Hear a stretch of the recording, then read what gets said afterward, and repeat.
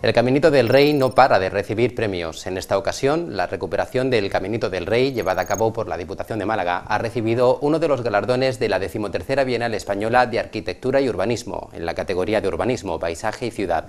Los 22 mejores proyectos realizados en España durante 2015 que han sido premiados formarán parte de una exposición itinerante bautizada como Alternativas Alternatives, que ha comenzado este martes en el Palacio Carlos V de Granada. Recorrerá varias ciudades españolas y se trasladará a Nueva York, en Estados Unidos, en octubre, según han informado desde el ente provincial.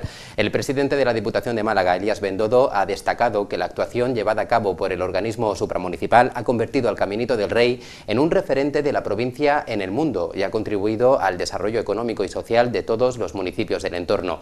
Además, se ha mostrado muy satisfecho por el hecho de que desde diversas instituciones iberoamericanas, europeas, nacionales y regionales se haya premiado al Caminito por su solución arquitectónica y por su contribución turismo. Por ello, ha felicitado a todo el equipo de la Diputación de Málaga que trabajó en la recuperación de este enclave.